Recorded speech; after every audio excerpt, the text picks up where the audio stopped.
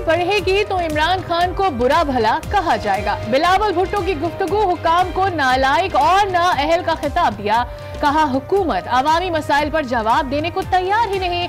आवाज़ उठाए तो केसेस बनने लगते हैं। कराची में 14 अमवाज सोयाबीन डस्ट से हुई या नहीं मुआमा हल ना हो सका। सिंध हुकूमत सोयाबीन डस्ट को ही वजह करार देने पर बजद विफाकी वज़ीर अली जैदी का रिपोर्ट और के पी टी पर आए जहाज़ को अमवात की वजह मानने से इनकार।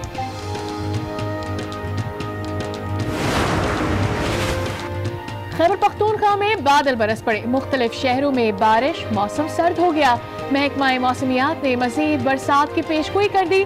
इस्लामाबाद में रात की बारिश ने ठंड बढ़ा दी। दर्जा हरारत तीन से चार डिग्री कम हो गया। जापान की क्रूज शिप में कोरोना वायरस से दो मुसाफिर हलाक हो गए। दोनों की उम्र 80 साल थी।